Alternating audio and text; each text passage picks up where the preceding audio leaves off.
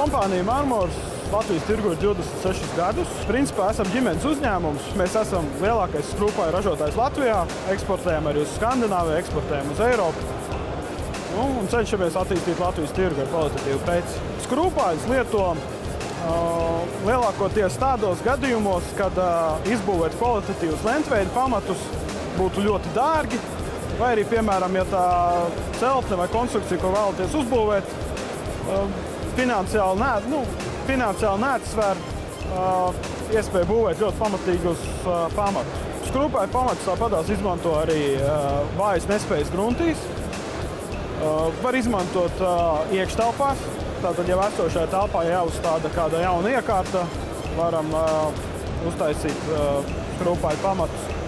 Uh, varam skrūpēju pamatus izmantot pilnīgi netipiskās vietās, kur normāls pamats būvēt būtu ļoti dārgi. Mēs varam uzbūvēt uh, kalnu nogāzē, mēs varam uzbūvēt ezera krastā vai upes krastā.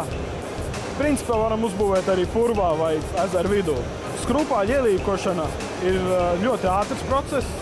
Principā normālai mājai pamatus var ierīkot vienas, divas dienu laikā, un pamatus uzreiz var arī lietot. Tāpat ierīkojot, mēs uzreiz jau dabūsim informāciju par to, vai pamati ir sasnieguši ieprojektēto nespēju. Kompānija Marmors var veikt projektēšanas darbus. Mēs varam uztaisīt pamatu projektu.